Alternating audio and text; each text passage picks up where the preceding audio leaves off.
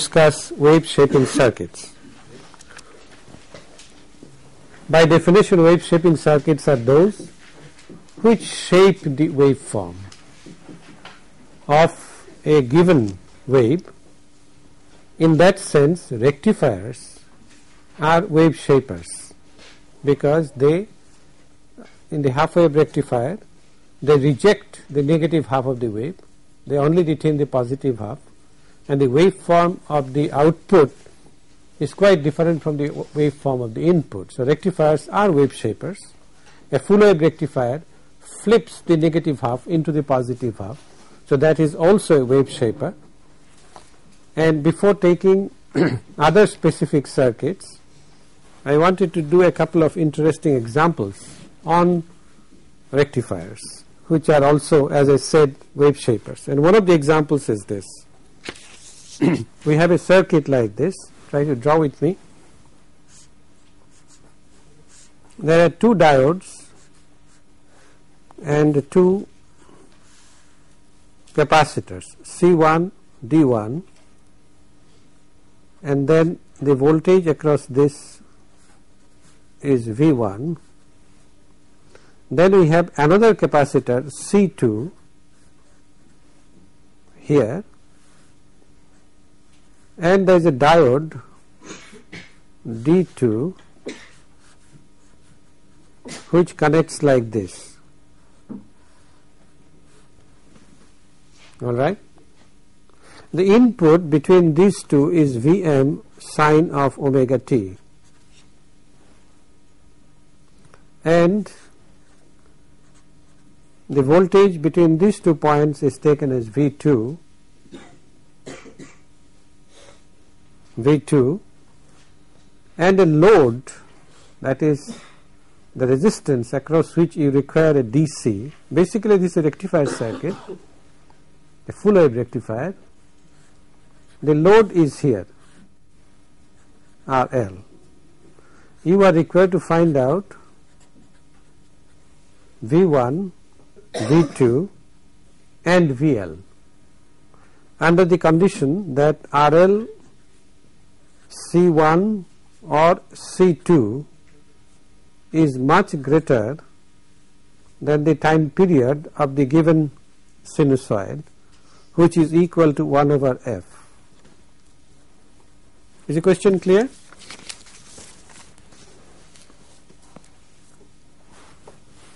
All right. Now, let's see how this circuit works. When we have the positive half of the sine wave between these two points, that is this polarity is positive, this is negative, then obviously it is this diode which conducts D1, current flows like this and then comes back, comes back through the capacitor to the other point of the sinusoidal source. So, the current flows like this. Can it also flow through the resistance RL? No, because if it has to then pardon me?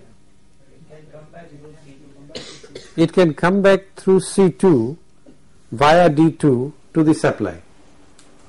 No, I have drawn it. Pardon me? So it can pass through RL and then come through C2. Back to that way. It can pass through RL and come back to Come back to through C2. C2 But sir, the in negative that, supply. but sir, in that case, diode will also. No, diode is connected here. Why should the current come back to the same point where it lives? It has to go to the other end of the voltage supply. Alright. So the only path is this. The other path is this. RL then via C2 via this point. Alright. Okay. Let's consider the situation when it becomes negative. Let's say this is negative and this is positive.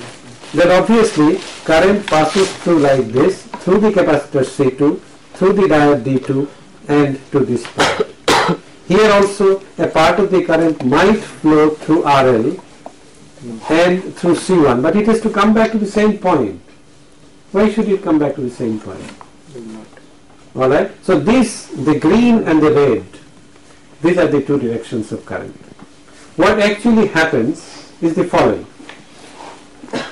That C1 charges to the peak of this voltage Vm and C2 charges to again to the peak of the voltage but with a polarity this positive this negative.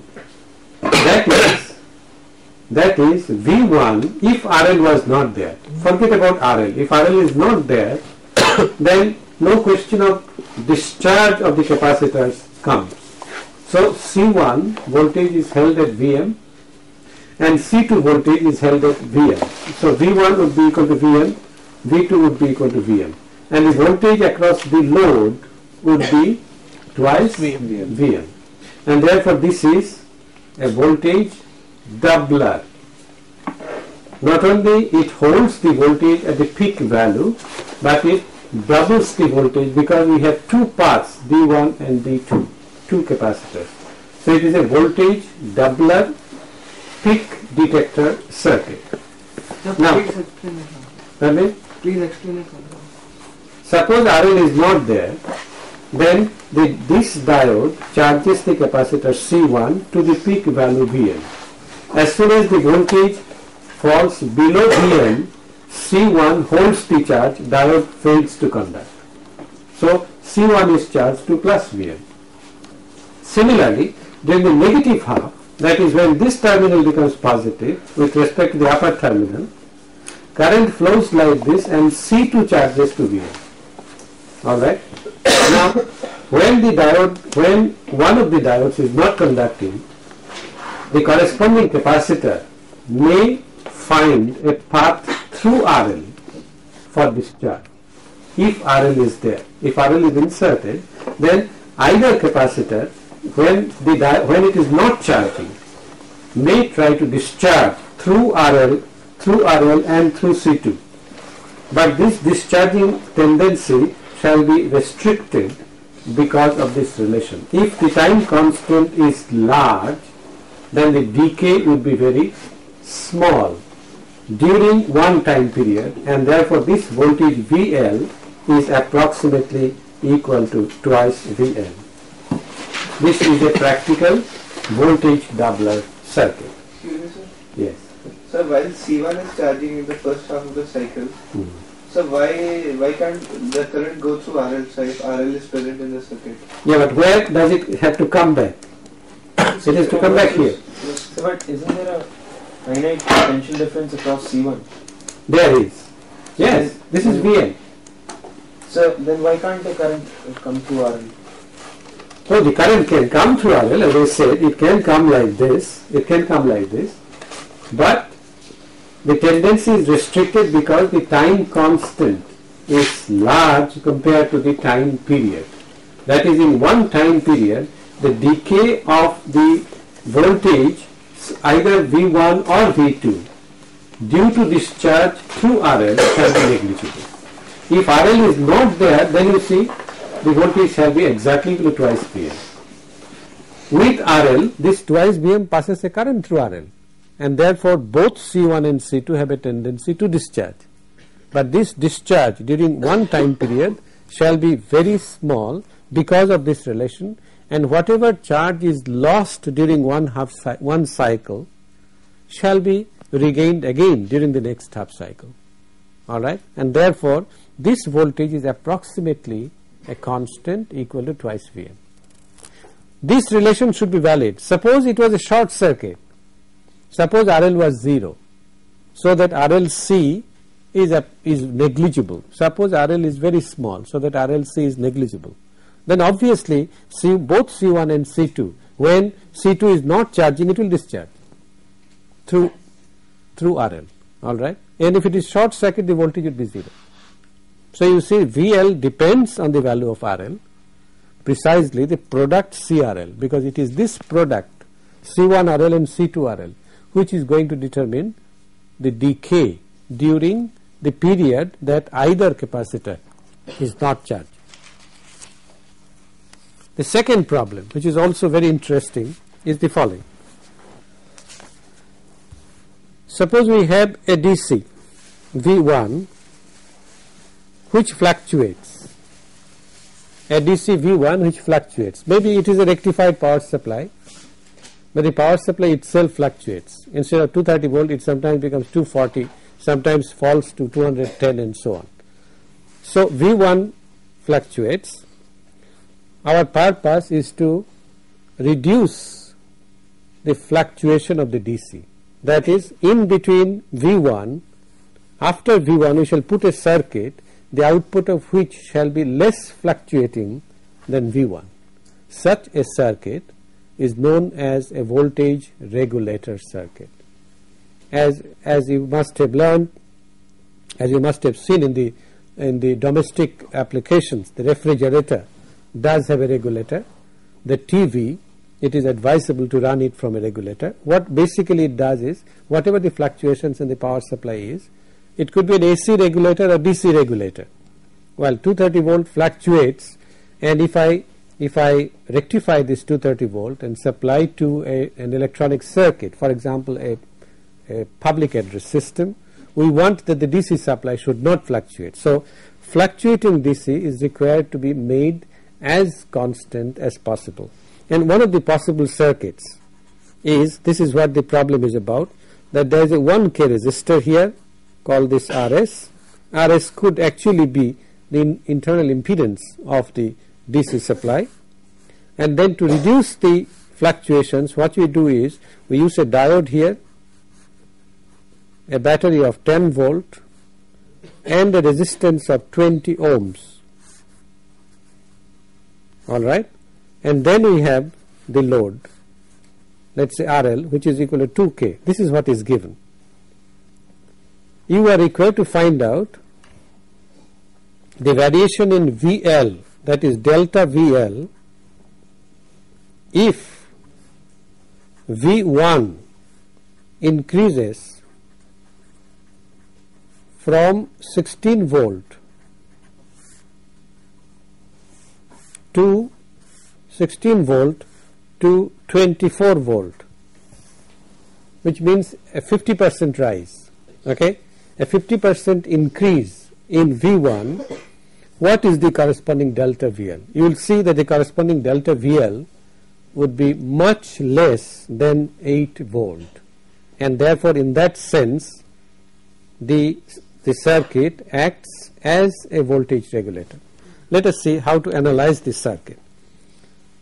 You see that if V1 is positive then this diode always conducts. So let this current be I1 and let this current be I2 alright then obviously we can write two KVL equations. One is that V1 is equal to 1000 I1 plus I2 alright they drop across this plus let us say plus I2 times RL well RL is 2000 this is one of the equations around this loop. And if you write around this loop then you shall get 10 plus I1 into 20 okay should be equal to this voltage drop. I am assuming the diode to be ideal. So 10 volt plus minus then I1 times 20 should be equal to I2 times 2000 alright from which you can eliminate? I1 what you want is I2 you want to find out VL you want to find out I2 I shall skip the algebra. If you do the algebra that is eliminate I1 from this equation then you can get I2 in terms of V1 alright you can get I2 in terms of V1 and therefore VL VL is simply I2 times 2000 in terms of V1 the relationship I as I worked it out is VL equal to twice V1 plus 1000 divided by 103 which means that delta VL is equal to twice delta V1 divided by 103 alright. If I increment this by delta V1 then obviously delta VL should be equal to this and therefore if delta V1 that is V1 increases from 16 to 24 then it is 2 times 8 divided by 103 and delta VL is 16 divided by 103 which is less than 0.16 volt. You see how things change? Okay. So, this circuit basically acts as a regulator. When there is a 8 volt fluctuation, 50 percent fluctuation. Now, what is the percentage fluctuation? What is VL when V1 is equal to 16 volt? You can calculate that out. We have the relation. The VL is approximately equal to 10 volt. So, 0.16 in 10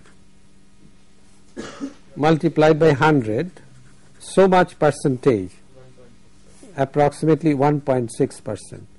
So, a 50 percent fluctuation in the input causes only a 1.6 percent fluctuation in the output which in effect then is the circuit for a voltage regulator. We shall we shall consider other more sophisticated kinds of voltage regulators later in the course, but I could not check the temptation of bringing to your notice a circuit which is a useful circuit and which uses a diode. Yes, you had a question.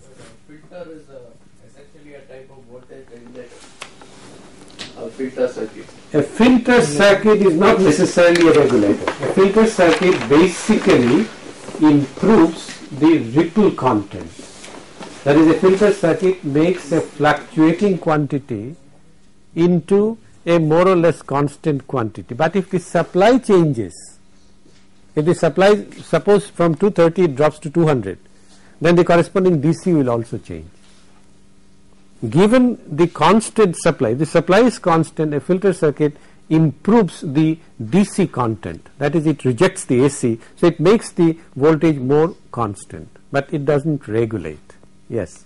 So How do we get the component value of 10, 10 volt and for the battery Oh, and this is a specific circuit. We shall know, we shall discuss the design of voltage regulator circuits later.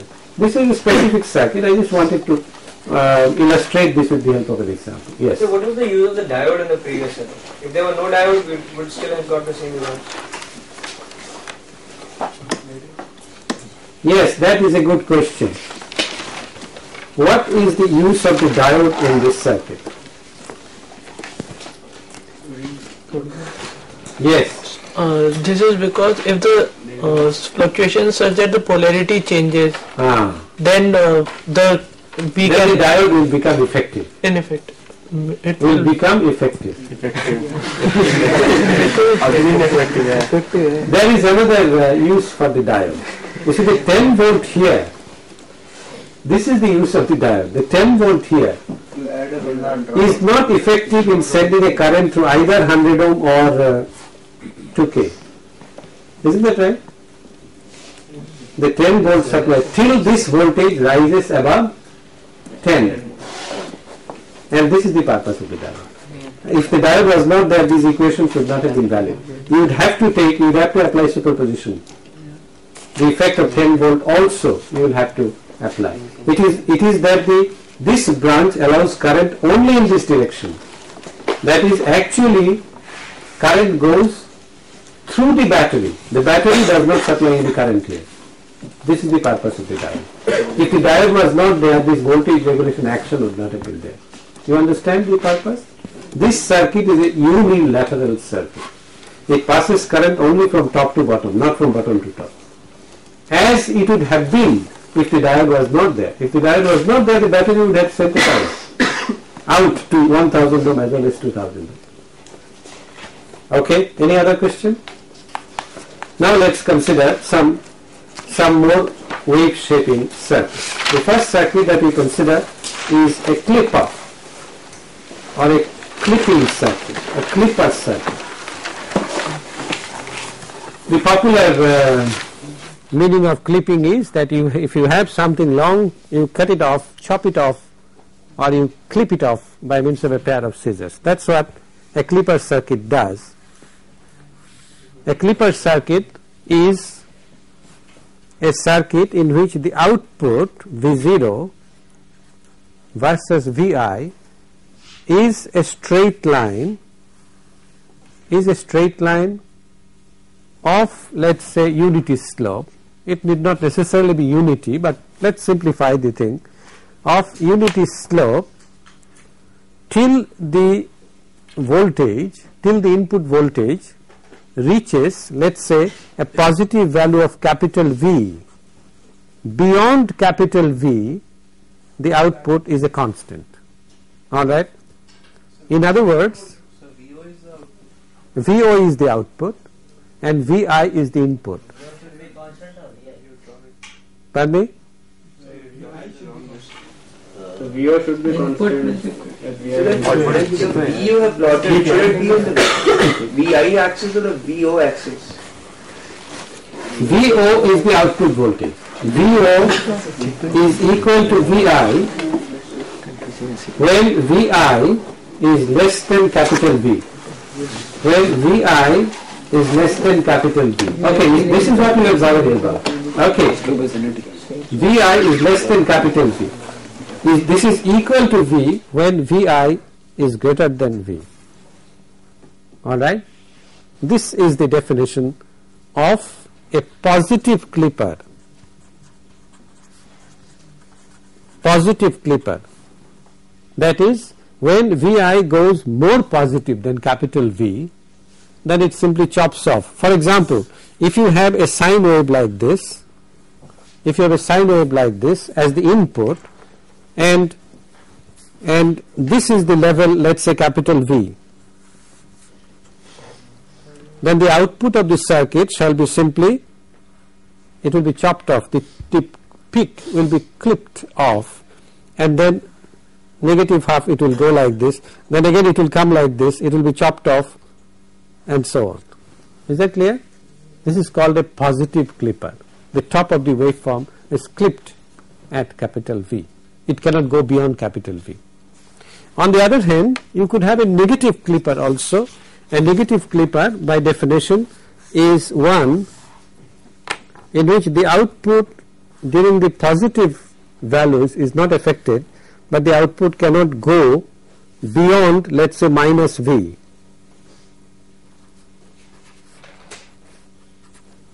This is a negative clipper, this is Vi and this is V0. So that if you have a sine wave like this, if you have a sine wave like this and this level is let us say minus V, then the output of the of the circuit shall be this. Positive half is not affected, in the negative half it cannot go beyond minus V, then it comes back. So this is a negative clipper. If you want to shape the wave such that part of the positive portion is clipped off and part of the negative portion is also clipped off, then obviously the characteristic shall be like this.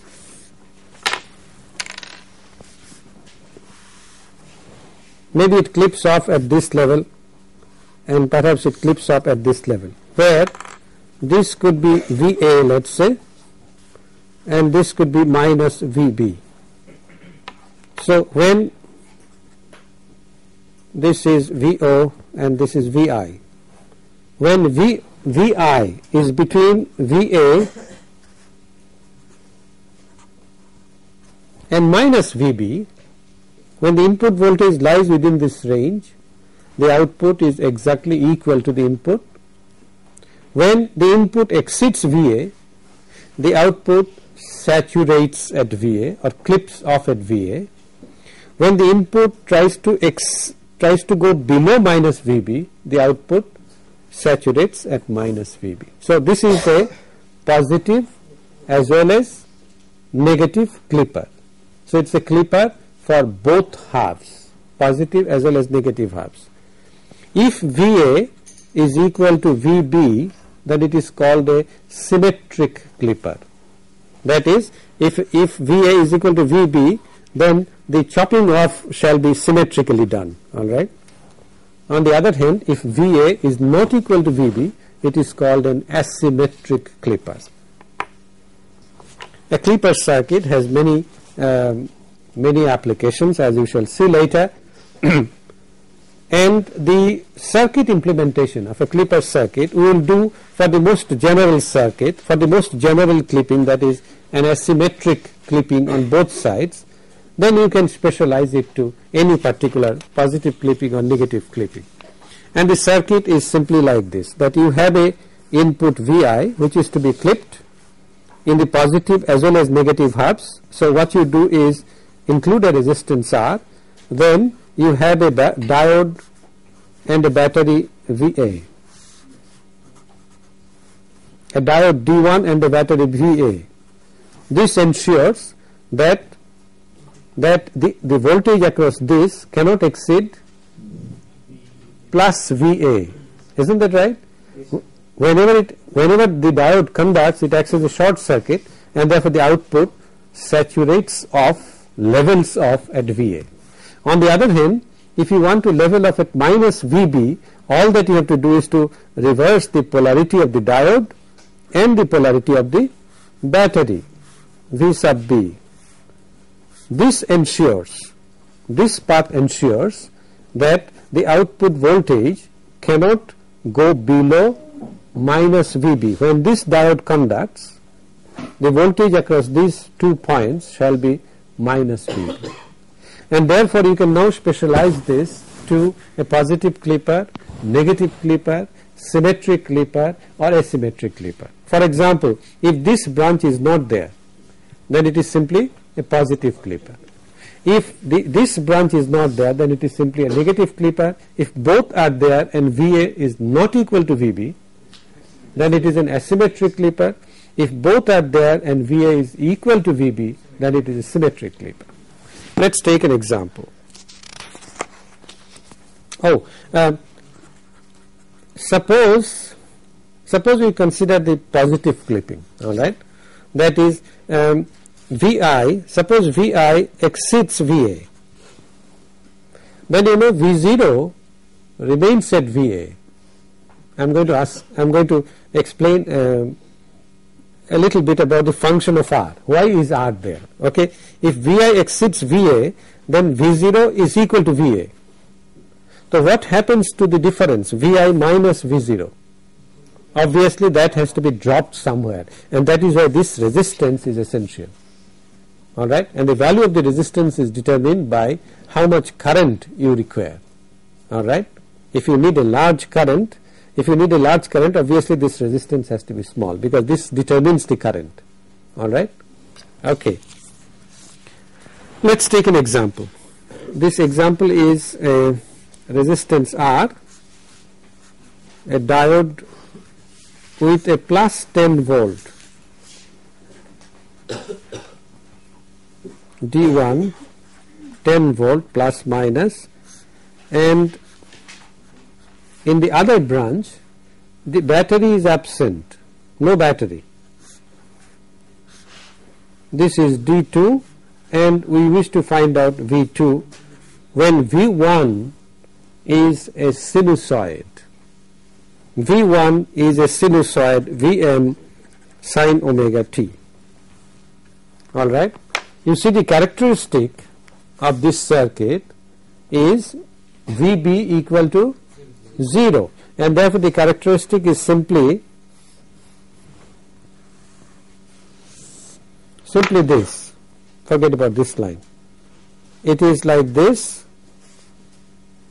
where this voltage is 10 this is 10 and in the negative half it is simply the negative axis. So, this is V0, this is V2 and this is V1. Is that okay? Now, suppose I supply, let me draw it again.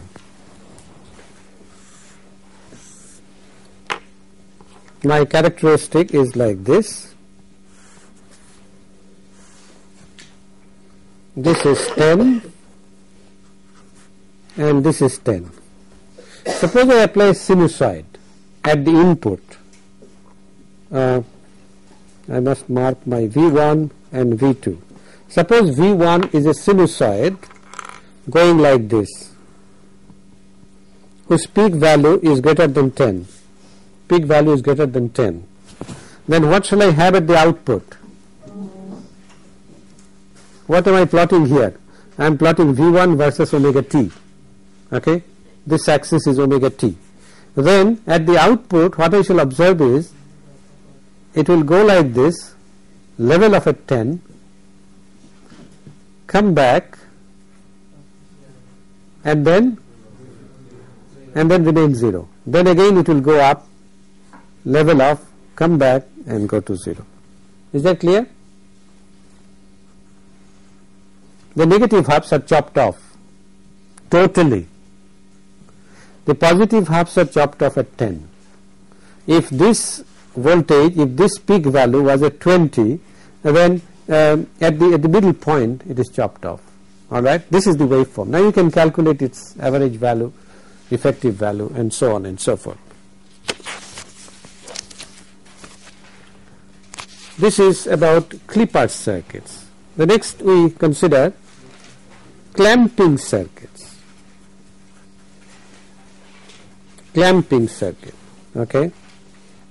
A clamping circuit is a DC is alternatively can be alternatively looked upon as a DC shifting circuit or average level shifting circuit. For example, you had an you had an uh, a sinusoid like this. Suppose I want to shift this sinusoid up so that the minimum value is 0 then obviously my sinusoid would be like this.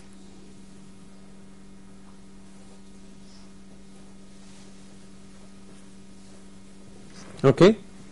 If I want to shift it up, I could also shift it down such that the, such that the peak value is 0.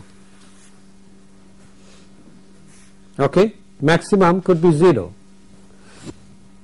Do you understand what I am doing? So what I am doing is I am simply adding a DC, adding a DC either positive or negative so that the waveform is either shifted up or down. The circuit which performs this job is called a clamping circuit. Let us take a few examples. And a clamping circuit also is an application of the simple diode. Suppose we take an example like this. I have a V1 a resistance R, then I have a capacitor C, alright, I have a capacitor C and a diode across this. Now, what do you think if this is V2, this is a sinusoid, okay, sinusoid or any other waveform, I don't really care. Let's say it is a sinusoid like this. Alright, now what do you think what do you think will be the maximum positive value of V2? When the diode conducts, when the diode conducts, the voltage across this is 0 and therefore what will happen is this voltage, this waveform uh, of V1 shall go down such that the maximum positive value is 0. Now why does it go? Suppose V1 equals to Vm sine omega t. Let us look at the action of the circuit. What happens is during the positive halves, during the positive halves, C charges. Alright, C charges to what voltage? Vm with this polarity plus minus. Agreed? When V goes V1 goes negative, then the circuit does not conduct and therefore v, C remains at Vm, C remains at the peak value. Alright, it is very important that you understand this simple circuit. And you see by KCL, by KVL, that V2 is nothing but V1 minus Vm. Isn't that right? V2 is equal to V1 minus Vm all right so so when during the positive halves well if this is v1 and you subtract vm from it this is vm what happens? This the waveform goes bodily down so that the maximum value is Vm. The maximum value is 0. Is that clear? Could you repeat this once again? Explain. By KVL, V2 The is, earlier part. pardon me? The earlier part, sir. About the capacitor. Oh, about the capacitor. During the positive half cycle, the capacitor charges. It charges to the peak value. Then, when this voltage goes down, the diode, star, diode does not conduct anymore. So, the capacitor does not get a path to discharge. And therefore, it remains at Vm, irrespective of what goes on in the external world. And by KVL, V2 is this voltage, V1, no current in the circuit, minus Vm and therefore what happens is V1 this waveform comes bodily down by Vm in other words its maximum value now becomes 0 and the minimum value becomes minus 2 Vm that's all. There is no distortion in the waveform. The waveform does not get clipped. There is no distortion. All that happens is it goes bodily down now if this diode was reversed then obviously what we would do is the minimum would be lifted to to 0 the minimum would be lifted to 0 the maximum would go to twice Vm alright now suppose you say yeah In both the positive and the negative cycles, the diode would not conduct. Or would it conduct in the positive cycle? or it would no, the first cycle. In the, in the first in the, in the very first cycle the diode would conduct then it will remain at Vm alright it would not uh, budge. Let's put it that way. It will only budge if you connect a load here. Then the capacitor gets a, a path to discharge. Alright Can't it be replaced by a constant voltage source which is equal to Vm? can it be replaced by a constant voltage source which is equal to Vm Then we will not be able to decide the what the which one which one is a constant voltage source V2 in place of C in place of C can it be replaced by a battery battery equal to Vm what's the diode a series connection of this V1 voltage source with that one battery alternating will do to the same thing. yeah but why would you like to replace a capacitor by, by a battery So isn't it equivalent Oh, isn't it? Yeah, it is equivalent. Yes, because this is constant. Yes, that's quite correct. But as a practical engineer, you will never do that. The battery is a much more costly affair than a capacitor. Also, it has to be maintained. A battery requires maintenance. All right. What you can do by an by a passive element, you will never use an active element for that purpose. Now, question is, does it have to be clamped at zero? Does the maximum? Can I clamp the maximum at let's say plus 5 volt or can I clamp the minimum at minus 5 volt? All that I have to do is to add a battery. Now we will have to add a battery to the diode. Alright and look at this circuit. Let's take a specific circuit. Let's say V1 now I am omitting that internal resistance and so on because it's only the voltage that we are concerned with. There is a capacitance. And suppose I have a circuit like this for bringing variety into experience the diode is in the other direction and we have a negative battery here.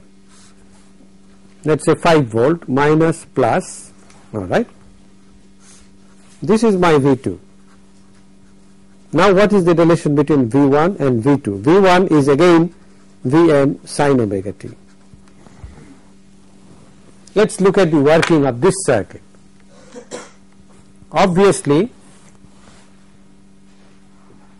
obviously when V1 is positive during the positive half cycle the diode does not conduct and therefore there is no current through C1 when V1 is negative during the negative half cycle this diode conducts and current flows like this. And therefore there is a voltage V sub C developed across C which is of this polarity minus plus. Is that okay is that okay now what is the value of VC VM minus 5. VM VC would be equal to V minimum VM okay VM minus 5 because VC plus 5 should be equal to VM Is that okay?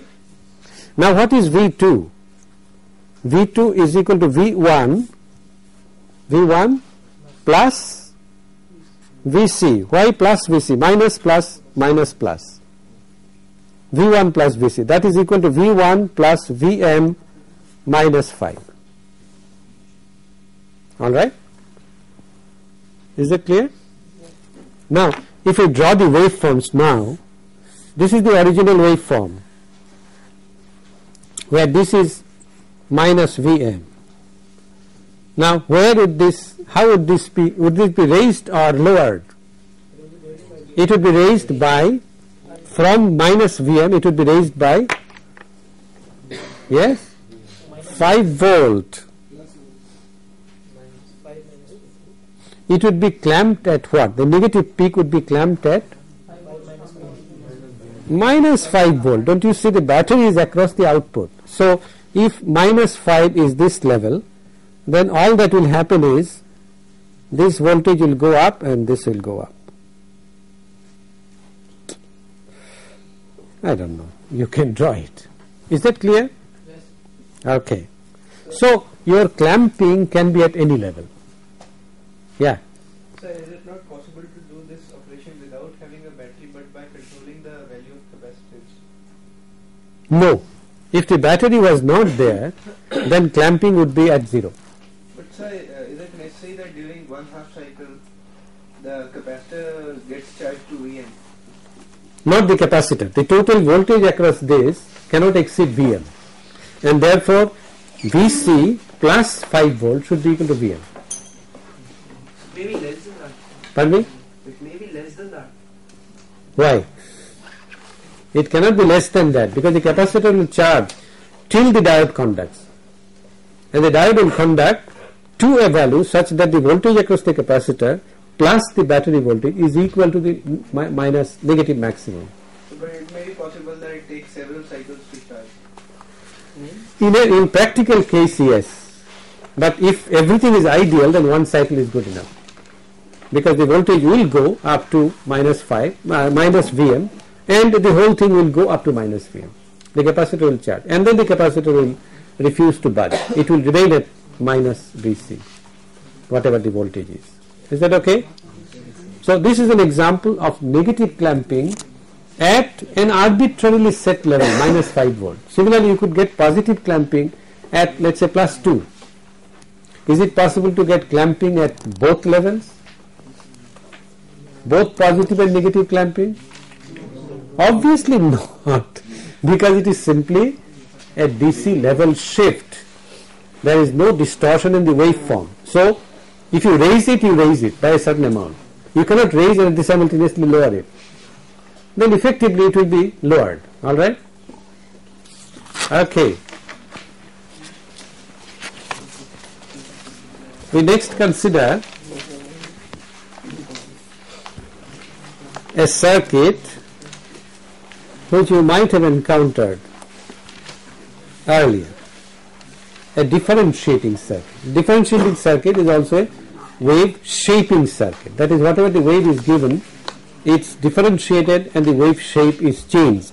If you differentiate a sine wave, what is the shape of the resulting wave? Cosine. Cosine. Does the wave form change? No. There is only a phase shift. But that's not the case if the waveform is non-sinusoidal. For example, if the waveform is like this, a sawtooth. Have I introduced a sawtooth? Yes. Yes. If, if the waveform is like this, then what would be its differentiated waveform? It would be a constant up to this, then 0, hold it, 0, Pardon me? Derivative is not defined. derivative is not defined. You will get an impulse function. Have you heard of impulse function? No, we'll come we'll come to it later. Let's say for the, for the time being that it's not it doesn't drop auto, uh, instantaneously. Let's say it drops with a slight slope. All right. What happens is that from here it goes negative over a certain range. Then again it goes positive and so on. Go negative, sir. So it won't be negative. Will go negative. Why not? Then that would be for a very short interval for which the slope is negative. Yes, my figure unfortunately has got distorted. So let's. no, no. So make it Okay, let's make it triangular. Let's make a triangle. Okay, then obviously its differentiated waveform shall be like this. Over this portion it would be positive, then it would be negative, then positive, then negative and so on.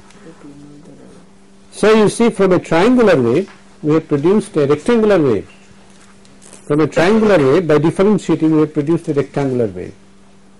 This is indeed wave shaping and this is performed by this simple circuit that is a capacitor in series with a resistor where the capacitor value and the resistor value are so chosen that CR product is much less than CR what is the unit? Time is much less than the time period of the periodic wave which you want to differentiate which is equal to 1 over f. Alright. Under this condition what happens is the following.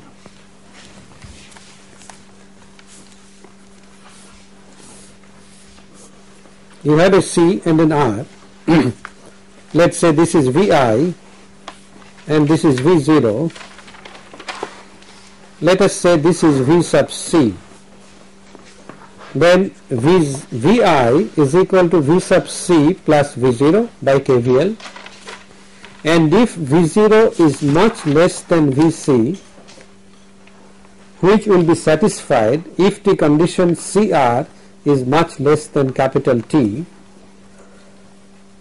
alright, then this is approximately equal to V sub C,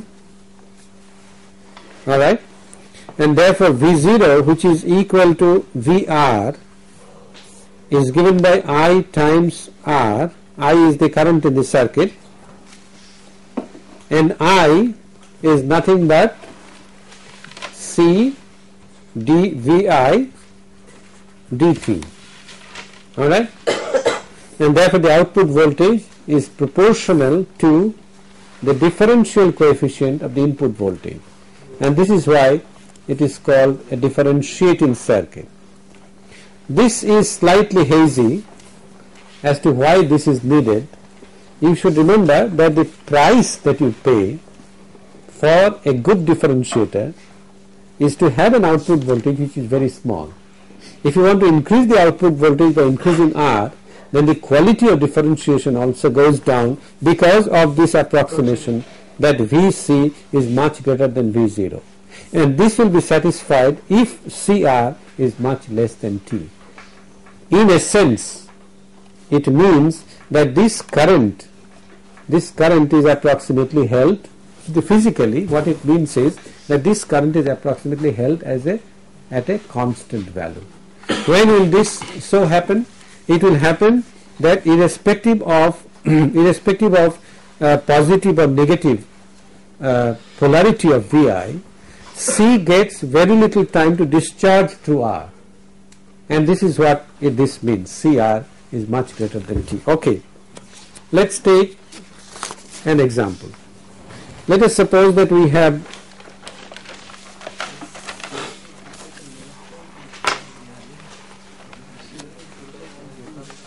we have a square wave like this. Now let's suppose it's a perfect square wave.